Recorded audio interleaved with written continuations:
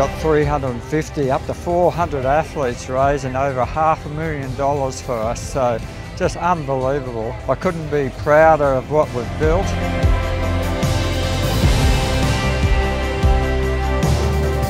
Even though this is an individual sport, you feel like you're part of a team, which quite often in a triathlon you don't get. So being a part of Smiling for Smiddy at the Noosa Tri is a great thing to be a part of a team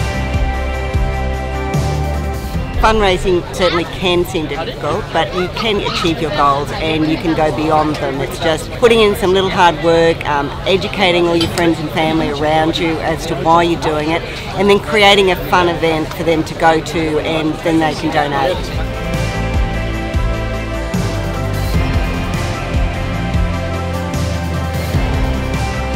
Triathlon is a very individual sport, as people say, but the wonderful thing about being part of this team is that there's a real purpose and a, a real sense of camaraderie amongst those who participate.